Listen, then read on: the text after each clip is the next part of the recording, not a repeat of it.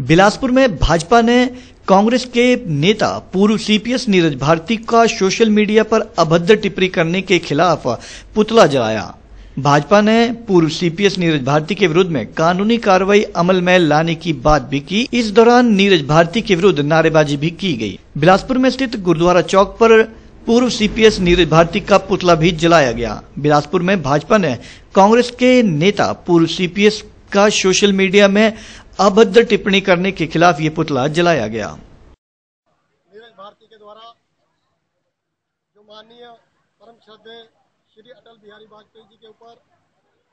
भाषा और टिप्पणी का जो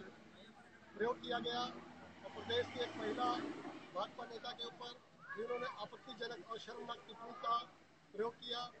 इसी उपलक्ष्य में भारतीय जनता युवा मोर्चा के द्वारा आज यहाँ पर गुरुद्वारा चौक पे नीरज भारती का पुतला जलाया गया और प्रदेश सरकार से मांग की है कि जल्दी से जल्दी नीरज भारती को गिरफ़्तार करके जेलों के पीछे भेजा जाए ताकि भारत रत्न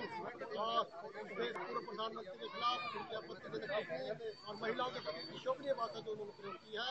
उसके लिए उनको सजा और सलाखों के पीछे भेजकर सजा दी जाए ताकि महिलाओं का मान सम्मान बहाल हो और पूर्व प्रधानमंत्री भारत रत्न श्री अटल बिहारी वाजपेयी के लिए एक श्रद्धांजलि पूर्वक उन्हें जेल के सलाखों के पीछे भेजकर ये श्रद्धांजलि दी जाए